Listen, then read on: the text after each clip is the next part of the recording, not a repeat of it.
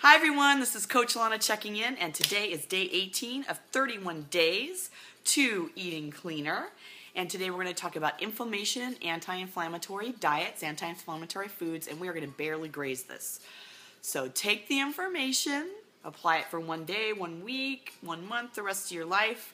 Dig deeper into it, do some investigation. A lot of the stuff we're going to talk about today, we've actually touched on some of the nutritional information in other in other videos. So I'm not going to dig real deep in this. I'm just going to give you a just a little touch off the top. A lot of this information is coming from drweil.com. W-E-I-L.com. I love his information. He is a great resource on aging, aging well, and anti-inflammatory um, diets. So I'm going to check my notes to make sure I stay on track because I tend to talk, talk, talk, talk, talk, if you haven't already noticed. So part of, you know, cleaning up our diet is getting educated. So we'll talk about inflammation. Now, inflammation is normal to the body. And it's actually very healthy. If you get an injury, you get an, inf- you know, an injury, um, get an illness, your body's going to cause inflammation to get that body part the nutrition it needs to get well. But as we age, um, we tend to get a little, informa- little more inflammation than we need. And there are a lot of foods that cause inflammation. So we're getting swelling, we're getting a little attention to bo- the body that the body doesn't need. And it can cause things like um, cancer, heart disease, diabetes, Parkinson's disease, and a lot of age related diseases. So we're all getting older.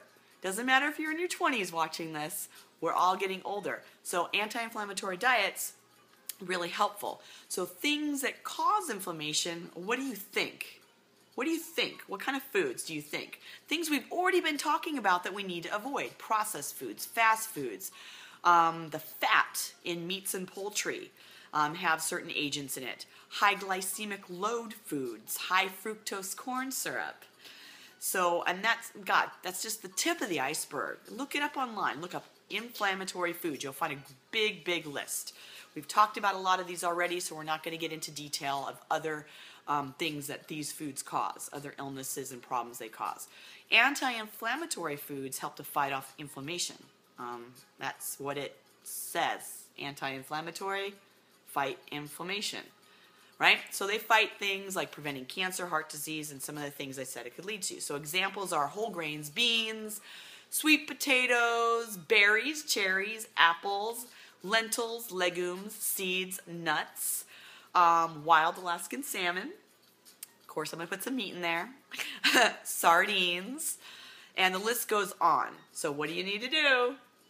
Look them up. Look them up. Look up anti inflammatory foods. Go to drweil.com and look. Look it. So, it's good to be aware of what we're eating. We're trying to eat healthier. And the more anti inflammatory foods we can put into our diet, the better off we're going to be. So I challenge you to pick a, few, a few of your favorite foods, your common foods that you eat, look them up, and see if they end up on the inflammatory, anti-inflammatory, or maybe they're somewhere in between where they're null and void. Doesn't matter either way. All right? Thank you so much for watching. I really, I really do appreciate it. I really do. I love sharing information with you guys. It's my pleasure and my joy. This is Coach Lana, and I'm out of here.